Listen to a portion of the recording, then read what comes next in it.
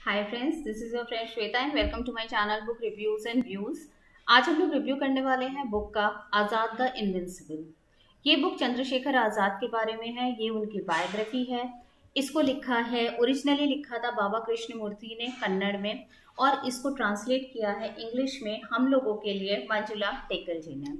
ये एक बहुत ही अमेजिंग बुक है, ये सिर्फ़ एक बायोग्राफी नहीं है, ये एक मेमोरी है, ये एक इमोशन है। जिसको आप विटनेस करेंगे जब आप इस बुक को पढ़ेंगे। ये बुक को 21 चैप्टर में 21 चैप्टर्स में डिवाइड किया गया है। स्टार्ट होती है journey Chandrashekhar Azad the boy की।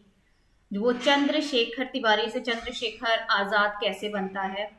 उसकी फ्लॉगिंग की सजा उनको मिलती है। वो उसको कैसे, उससे उससे रिएक्ट करते हैं। उनके अंदर अहिंसा से गांधी जी को छोड़कर एक रिवोल्यूशनरी ग्रुप बनाने की जिज्ञासा कैसे जागती है? इन सब के बारे में आपको बहुत कुछ सुनने को और देखने को और पढ़ने को मिलेगा। लेकिन ये बुक आपको कहीं पे भी बोर नहीं करेगी। ये कोई अगेन आपका हिस्ट्री का चैप्टर नहीं है। ये एक कहानी है, एक इंसान की ज़िंदगी की, जो चैप्टर बाय चैप्टर साल दर साल चलती जा रही है, जिसको आप साथ में इमेजिन करते चले जाएँगे। ये इस तरीके से लिखी गई है कि आपके सामने सारी चीज़ें हो रही हैं। इंसान, चंद्रशेखर आज़ाद जिस तरह के इंसान थे उनके प्रिंसिपल क्या थे, उनका लेडीज़ की तरफ़ विमेन की तरफ़ उनका नज़रिया क्या था, वो कितना रेस्पेक्टफुली उनको देखते थे, उनका शादी से रिलेटेड उनका ओपिनियन क्या था, ये सब आपको इसमें देखने को मिलेगा। कुछ मज़ेदार इंसिडेंट भी हैं, जो आपको हंसाएँगे, गुदगुदाएँगे, लेकिन जो देशभक्ति की भावना है, वो आपकी बहुत प्रबल कर जाएँगे। तो इस बुक को पढ़िए। चंद्रशेखर आज़ाद को द इनविंसिबल इसलिए बोला गया है क्योंकि इनको कोई पकड़ नहीं सकता था। इन्होंने अपने जीवन में निश्चय किया था कि मैं कभी भी अंग्रेज़ों के हाथ में नहीं आऊँगा, मैं आज़ाद हूँ और आज़ाद ही रहूँगा। लेकिन कुछ ऐसे धोखेबाज, कुछ ऐसे जयचंद थे जिनकी वजह से आज़ाद ना उस सिचुएशन में नहीं फंसते और ऐसे उनका एनकाउंटर वाली सिचुएशन नहीं आती जिसमें उनको खुद को गोली मारनी पड़ती। तो ये सब आप पढ़ेंगे, आपको उन लोगों के ऊपर गुस्सा भी बहुत तेज आएगी, आपको लगेगा कि कहाँ से ऐसे लोग देशद्रोही भी होते हैं जो ऐसे इंसानों के साथ धोखा कर सकते हैं। और साथ में आपको कुछ ऐसे क्रांतिकारियों के बारे में भी पढ़ने को मिलेगा, जिनके बारे में हमने जिनका नाम ही नहीं सुना है। लेकिन वो जिस तरीके से शहीद हुए थे, वो आपके रोंटे खड़े कर देंगे कि सोलह साल का लड़का एक, सोलह साल का आप समझ रहे हैं हाई स्कूल इंटर का लड़का, सोलह साल की एज का लड़का जिसमें उतनी अकल नहीं होती, जिसमें उत, लेकिन साहस इतना ज़्यादा था कि गोलियाँ खाकर भी उसने किस तरीके से कितने अंग्रेज़ों को गोली मारी इतनी ताकत वो जज्बा उसमें कहाँ से आया ये सब आपको इसमें पढ़ने को मिलेगा।